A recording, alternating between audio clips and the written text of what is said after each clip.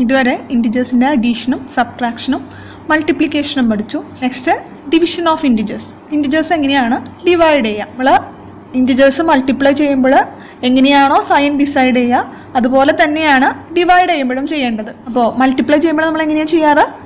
Same സൈനാണ് multiply ചെയ്യാൻ വരുന്നതെങ്കിൽ. Same സൈനുള്ള ആണ് മൾട്ടിപ്ലൈ ചെയ്യാൻ വരുന്നതെങ്കിൽ എപ്പോഴും മൾട്ടിപ്ലൈ ചെയ്തിട്ട് നമ്മൾ പോസിറ്റീവ് സൈനാണ് ഇടേണ്ടത്. രണ്ട് പോസിറ്റീവ് ഇന്റിജേഴ്സ് വന്നാലും രണ്ട് നെഗറ്റീവ് ഇന്റിജേഴ്സ് വന്നാലും മൾട്ടിപ്ലൈ ചെയ്തിട്ട് നമ്മൾ എപ്പോഴും പോസിറ്റീവ് ആണ് സൈൻ ഇടുക. ഇനി ഒരു negative integer into positive integer ആണെങ്കിൽ ആൻസർ നെഗറ്റീവ് ആയിരിക്കും. Positive integer into negative integer ആണെങ്കിലും ആൻസർ നെഗറ്റീവ് ആയിരിക്കും അല്ലേ? ഓപ്പോസിറ്റ് സൈൻ ആണ്. നെഗറ്റീവും പോസിറ്റീവും ആണ് നമുക്ക് മൾട്ടിപ്ലൈ ചെയ്യാൻ വരുന്നതെങ്കിൽ ആൻസർ നെഗറ്റീവും സെയിം സൈൻ ആണ് വരുന്നതെങ്കിൽ ആൻസർ എപ്പോഴും പോസിറ്റീവ് ആയിരിക്കും.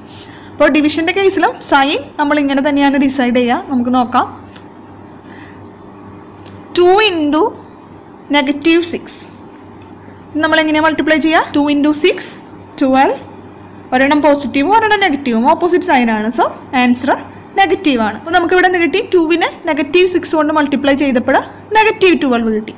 ഇനി നെഗറ്റീവ് ട്വൽവ് ഡിവിഷൻ ടു ഈ നെഗറ്റീവ് ട്വൽവിനെ ടു കൊണ്ട് ഡിവൈഡ് ചെയ്താൽ നമുക്ക് എന്ത് ആൻസർ വരണം? നമുക്കറിയാം നെഗറ്റീവ് സിക്സ് വരണം അല്ലേ?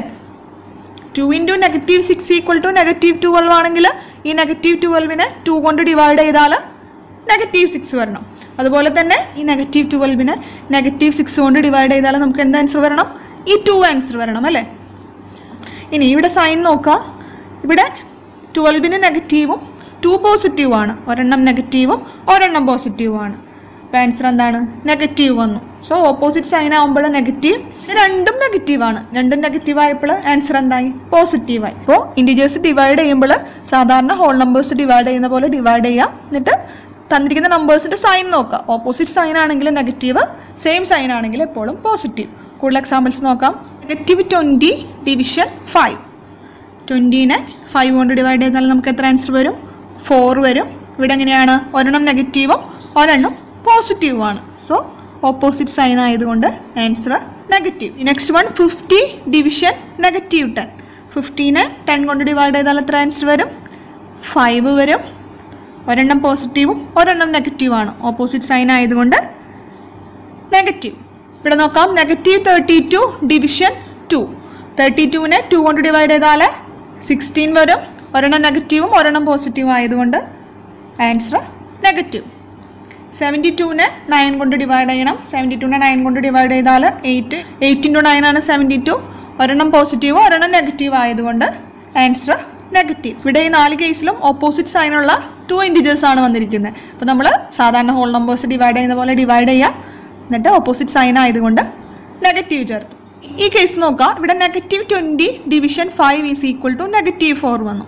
ഇനി ഇങ്ങനെ വരുവാണെങ്കിലോ? ട്വന്റി ഡിവിഷൻ നെഗറ്റീവ് ഫൈവ് അതായത് ഇവിടെ ട്വന്റി നെഗറ്റീവ് ആയിരുന്നു ഫൈവ് പോസിറ്റീവാണ് ഇവിടെ ട്വന്റി പോസിറ്റീവും ഫൈവ് നെഗറ്റീവും ഇതിനും എന്താണ് ആൻസർ വരിക ട്വന്റീനെ ഫൈവ് കൊണ്ട് ഡിവൈഡ് ചെയ്താൽ ഫോറ് രണ്ടും ഓപ്പോസിറ്റ് സൈൻ ആയതുകൊണ്ട് നെഗറ്റീവ് അപ്പോൾ നെഗറ്റീവ് ട്വന്റി ഡിവിഷൻ ഫൈവും നമുക്ക് നെഗറ്റീവ് ഫോർ കിട്ടി.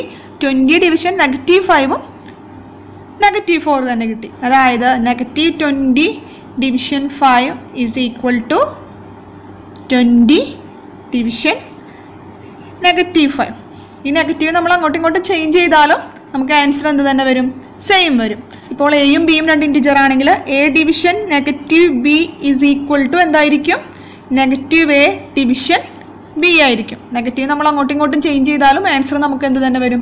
സെയിം തന്നെ വരും. ഇവിടെ നമ്മൾ ബി കൊണ്ടാണ് ഡിവൈഡ് ചെയ്യുന്നത്. So B not equal to zero ആയിരിക്കണം.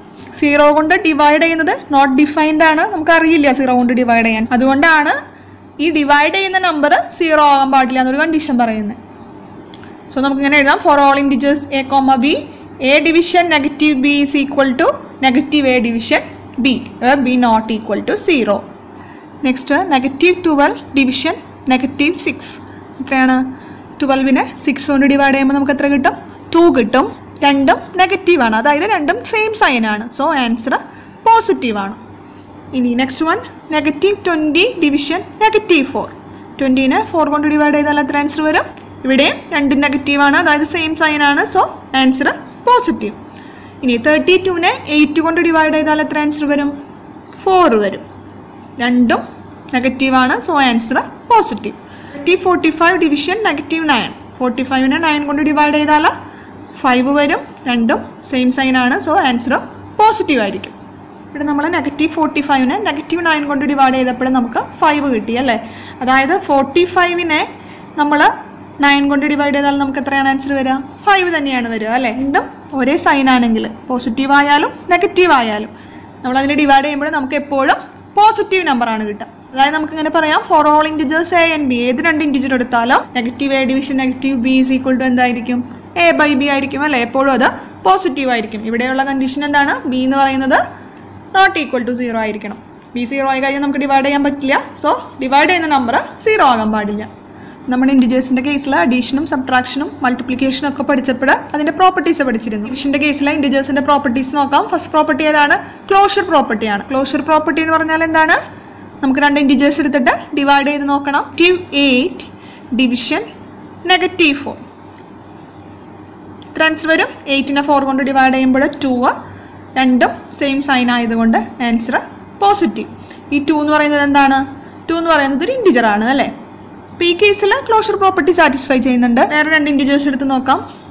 Negative four division negative eight that's equal to negative ഫോറിനെ negative eight കൊണ്ട് ഡിവൈഡ് ചെയ്യണം അല്ലേ?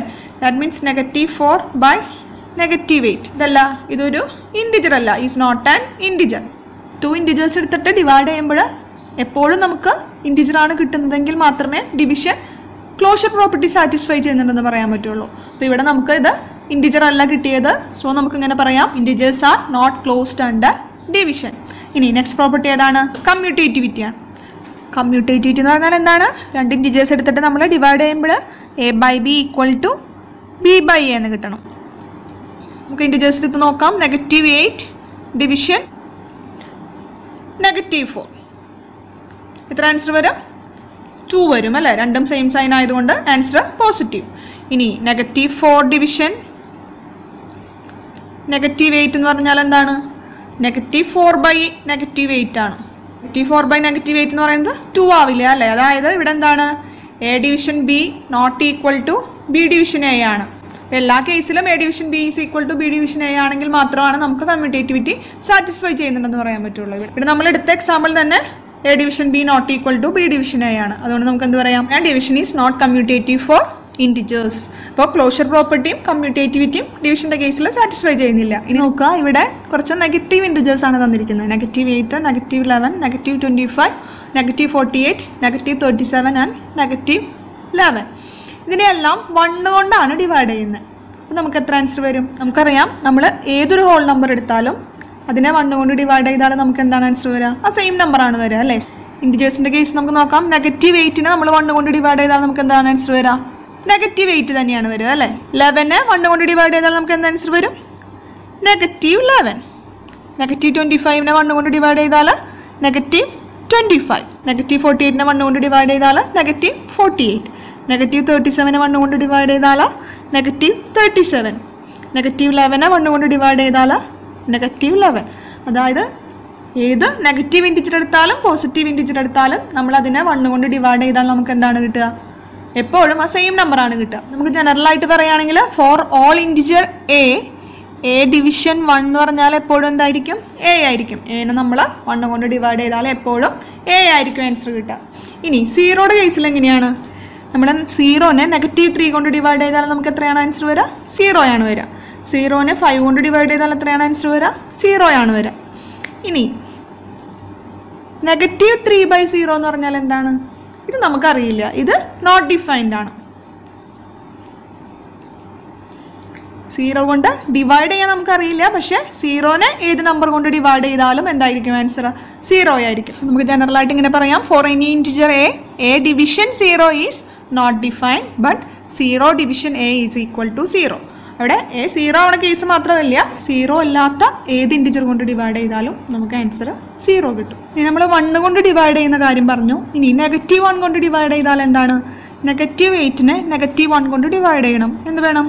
എയ്റ്റിനെ വണ്ണ് കൊണ്ട് ഡിവൈഡ് ചെയ്താൽ എയ്റ്റ് ഇവിടെ രണ്ടും സെയിം സൈൻ ആയതുകൊണ്ട് ആൻസർ പോസിറ്റീവ് ഇനി ട്വന്റി ഫൈവിനെ വണ്ണ് കൊണ്ട് ഡിവൈഡ് ചെയ്താൽ ട്വന്റി ഫൈവ് രണ്ടും നെഗറ്റീവ് ആയതുകൊണ്ട് ആൻസർ പോസിറ്റീവ് ഇനി ഇലവനെ വണ്ണ് കൊണ്ട് ഡിവൈഡ് ചെയ്താൽ ലെവൻ ഒരെണ്ണം പോസിറ്റീവും ഒരെണ്ണം നെഗറ്റീവും so answer negative eleven thirty seven one കൊണ്ട് ഡിവൈഡ് ചെയ്താൽ ഇവിടെ വണ്ണാണ് തേർട്ടി സെവൻ രണ്ടും നെഗറ്റീവ് ആയതുകൊണ്ട് ആൻസർ പോസിറ്റീവ് ഇനി നെക്സ്റ്റ് പ്രോപ്പർട്ടി അസോസിയേറ്റിവിറ്റി ഡിവിഷന്റെ കേസിൽ നമ്മൾ ചെക്ക് ചെയ്യേണ്ടത് എന്താണ്? A division B division C is equal to A division B division C ആണോ എന്നാണ് നമ്മൾ ചെക്ക് ചെയ്യേണ്ടത്. നമുക്ക് മൂന്ന് ഇൻഡിജേഴ്സ് എടുത്ത് നോക്കാം. Sixteen division four division two is equal to എത്രയാണെന്ന് നോക്കാം? സിക്സ്റ്റീന് ഫോർ കൊണ്ട് ഡിവൈഡ് ചെയ്താൽ നമുക്ക് എത്ര ആൻസർ വരും? ഫോർ വരും. ഇനി ഇവിടെ ഫോർ ഡിവിഷൻ ടു ഉണ്ട്. ഫോർ ഡിവിഷൻ ടു എന്ന് പറഞ്ഞാൽ ആൻസർ ടു കിട്ടും. ഇനി നമുക്ക് ഈ ഗ്രൂപ്പ് ചെയ്തെന്ന് മാറ്റാം. Sixteen division four division two ആദ്യം നമുക്ക് ഫോറിനെ ടു കൊണ്ട് ഡിവൈഡ് ചെയ്യണം. സോ സിക്സ്റ്റീൻ ഡിവിഷൻ ഫോറിനെ ടു കൊണ്ട് ഡിവൈഡ് ചെയ്താൽ ടു ഈക്വൽ ടു സിക്സ്റ്റീനെ ടു കൊണ്ട് ഡിവൈഡ് ചെയ്താൽ എയ്റ്റ് നമുക്ക് ഒരെണ്ണം ടൂവും ഒരെണ്ണം എയ്റ്റും കിട്ടി. അതായത് രണ്ടും ഈക്വൽ അല്ല. Sixteen division four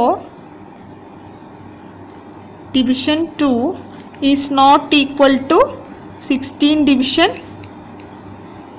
four division two അതായത് A division B division C is not equal to A division B division C എഴുതാം division is not associative for integers next നമുക്ക് എക്സസൈസ് വൺ പോയിന്റ് ഫോറിലെ question ചെയ്യാം first question evaluate each of the following first one negative thirty division ten എത്രയാണ് answer വരിക തേർട്ടീനെ ten കൊണ്ട് divide ചെയ്താൽ three വരും. ഓപ്പോസിറ്റ് സൈനാണ് ഇവിടെ അല്ലേ? ഒരെണ്ണം നെഗറ്റീവ് ആണ് ഒരെണ്ണം പോസിറ്റീവ് ആണ്. Opposite സൈനാണെങ്കിൽ answer negative next one fifty division negative five ഫിഫ്റ്റീനെ five കൊണ്ട് ഡിവൈഡ് ചെയ്താൽ ടെൻ വരും.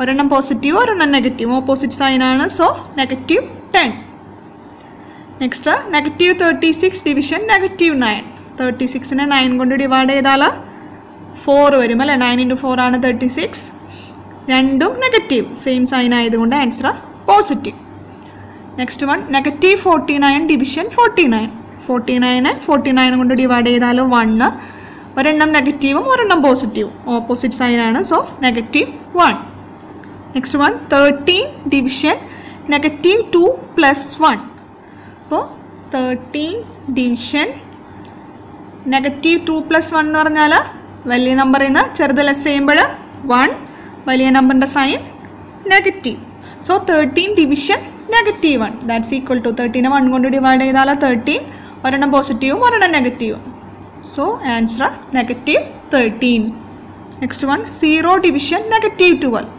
സീറോനെ നമ്മൾ ഏത് ഇന്റിജർ കൊണ്ട് ഡിവൈഡ് ചെയ്താലും നമുക്ക് എന്താണ് ആൻസർ കിട്ടുക? സീറോ ആണ് കിട്ടുക.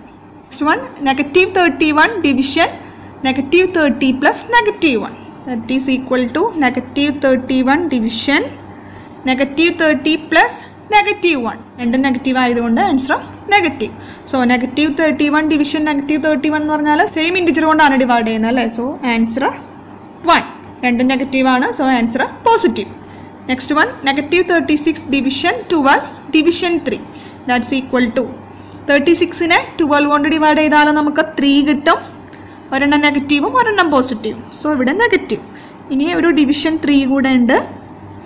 ദാറ്റ്സ് ഈക്വൽ ടു ത്രീനെ ത്രീ കൊണ്ട് ഡിവൈഡ് ചെയ്താൽ വൺ ഒരെണ്ണം നെഗറ്റീവും ഒരെണ്ണം പോസിറ്റീവും ഓപ്പോസിറ്റ് സൈനാണ് സോ ആൻസർ നെഗറ്റീവ് ഇനി ക്വസ്റ്റ്യനിലെ last one negative six plus five division negative two plus one that's equal to six plus five എന്ന് പറഞ്ഞാൽ വലിയ നമ്പറിൽ നിന്ന് ചെറുത് ലെസ് ചെയ്യുമ്പോൾ വൺ വലിയ നമ്പറിന്റെ sign negative division negative two plus one വലുതിൽ നിന്ന് ചെറുത് ലെസ് ചെയ്യുമ്പോൾ വണ്ണ് വലിയ നമ്പറിന്റെ sign negative negative one division negative one എന്ന് പറഞ്ഞാൽ വണ്ണിനെ വൺ കൊണ്ട് ഡിവൈഡ് ചെയ്താൽ വണ്ണ് രണ്ട് നെഗറ്റീവ് ആയതുകൊണ്ട് ആൻസർ പോസിറ്റീവ്